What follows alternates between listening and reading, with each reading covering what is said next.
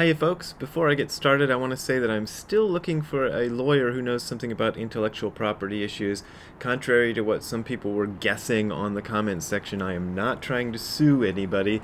Uh, I am being targeted by a, some organization who I think are probably scam artists but I'm not sure if they're scam artists, and I want a lawyer to help me sort that out.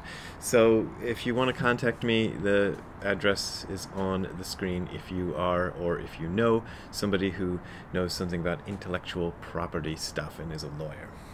Yesterday, when I was looking up stuff to talk about Dogen and dreams, I mostly was looking on at books, but I Googled a little bit.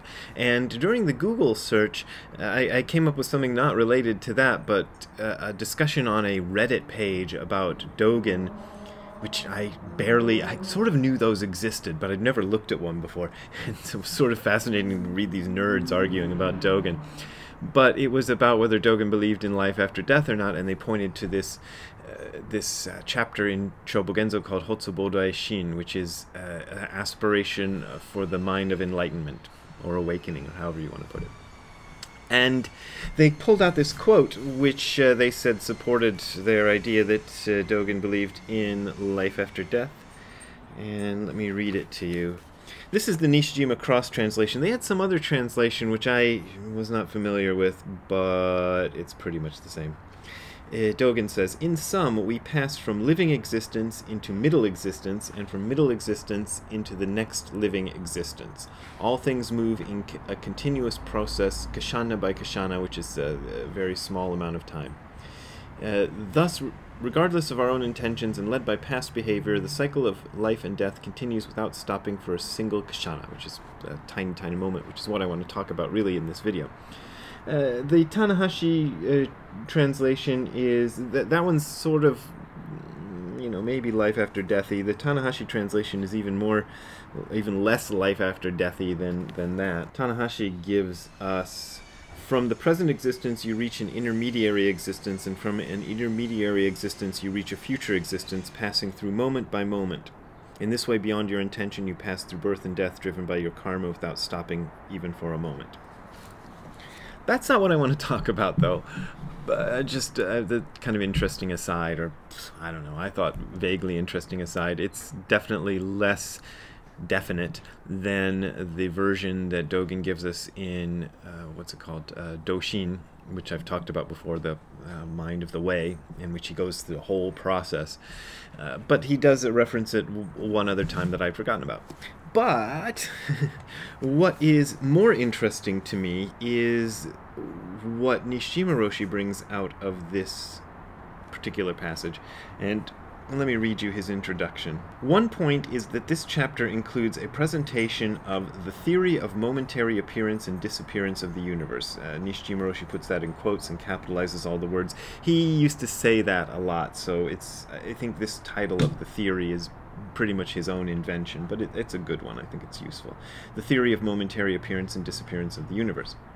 In Buddhist theory, action is esteemed highly. When we consider the meaning of life, we can consider that our life is just a series of moments of action. Why do we say that our life is momentary? Because once we have done an act, we can never return to the past to undo it. At the same time, we can never perform an act until its time comes to the present. So an act is always done just at the moment of the present. Furthermore, the moment of the present is cut off from the moment immediately before it and the moment immediately after it, because we can never act in the past and we can never act in the future. According to Buddhist theory, then, our life is momentary and the whole universe appears and disappears at every moment. This theory, also known as the theory of instantaneousness, is important in resolving the conflict between human freedom and the law of cause and effect, or in other words, uh, determinism and free will. That's another way to put it. That uh, that is free will versus determinism. Oh, he says it right here. Uh, in this chapter, Master Dogen explains this theory.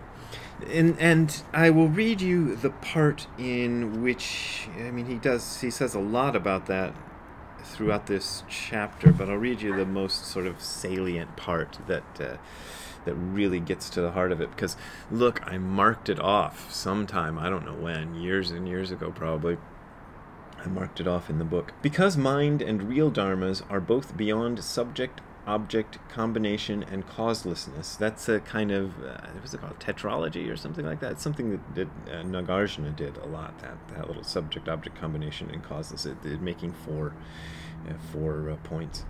If we establish this Bodhi mind for a single kshana, kshana is a very small moment, and let's see how he says it. Yeah, he just says moment or instant, but we'll get into details about that. The myriad dharmas will all become promoting conditions, uh, that is, the circumstances that are favorable to the attainment of the truth. That's what the footnote says. In general, establishment of the mind and attainment of the truth rely upon the instantaneous arising and vanishing of all things. If all things did not arise and vanish instantaneously, bad done in the previous instant could not depart.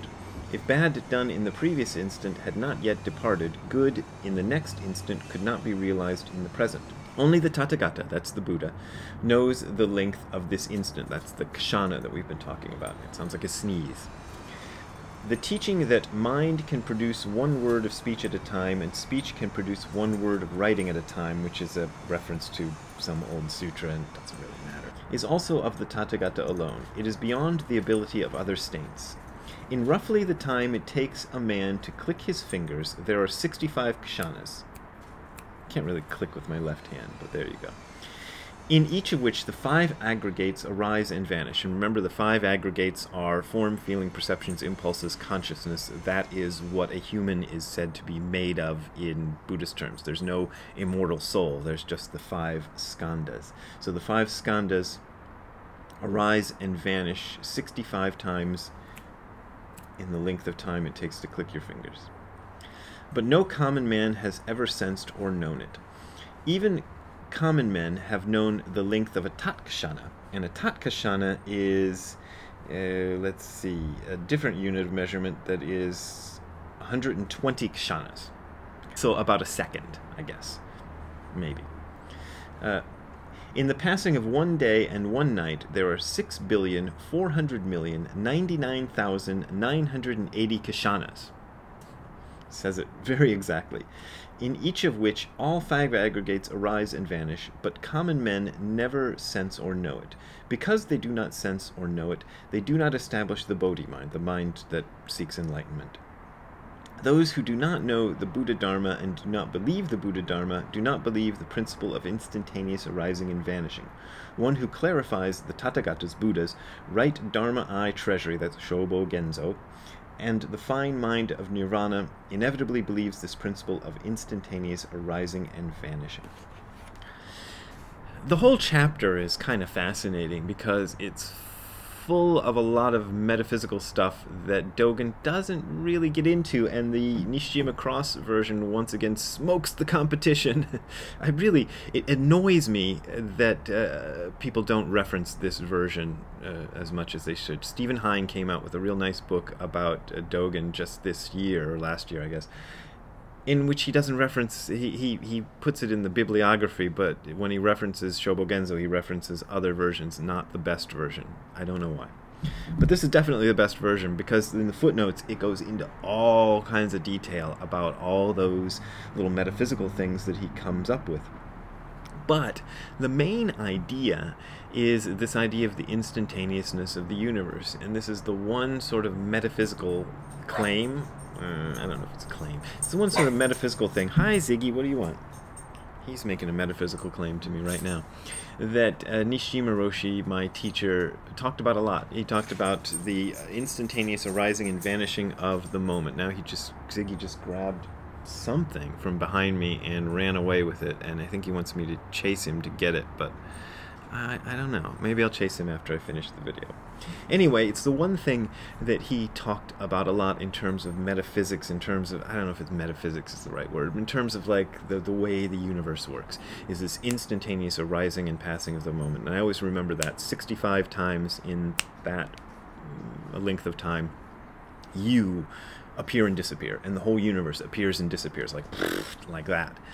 Uh, that is one of the strongest ideas that Dogen puts across uh, in terms of how this universe works, and um, you know, they don't get too metaphysical in the Zen stream, but that's one thing they do a lot. And I thought I'd just present it here. I'm not sure what I'm going to do with it, but I thought it was sort of an interesting thing to just give you to chew on in a video. And again, if you, you want more of this, talk to me in the comments section or send me an email, and I'll do more of this stuff.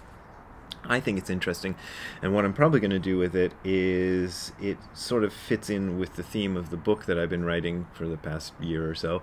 And I'm going to see if I can construct a chapter and slide it into the existing chapter somewhere about that chapter, that Hotsu Bodaishin, Arousing Aspiration for Enlightenment chapter, because it does go into a lot of the weird metaphysical stuff, which I think is interesting. Maybe not that relevant? I don't know. Sometimes I think, I don't know if this is all relevant or, or, really matters in the great scheme of things, but it's interesting to know, and it kind of helps frame things in a way that's different from the way normal people frame things in life. And if you start framing things in in your mind in a certain way, the, the way uh, Dogen advises, the way a lot of other people advise, then life gets a bit easier. You get a little less heavier on on yourself and a little less fearful of the future and regretful of the past and, and, and holding on to a sense of personal self. All of that is very freeing if you start to look at it a different way. And that is what I think the intellectual side or the metaphysical side, if you will, of Zen is useful for. So there you go. Anyway, if you want to donate to me being more metaphysical, there goes Ziggy again, and and to Ziggy getting fed, you can send a donation my way via the URL that you're seeing below, which will take you to my PayPal and Patreon links, which are the only way I'm making money at all these days. Well, I have to admit, occasionally I get a book royalty check. Like I said the other day, I got $133 last week, so you know it's uh, it's rolling in there. Uh, but uh, really, my main source of income is you guys donating. If you're having financial trouble or something like that, don't donate to me because I'm hanging in there and it's okay. But the reason I'm hanging in there is because so many of you do donate. So thank you very much for that. Have a good time all the time. See you later. Bye.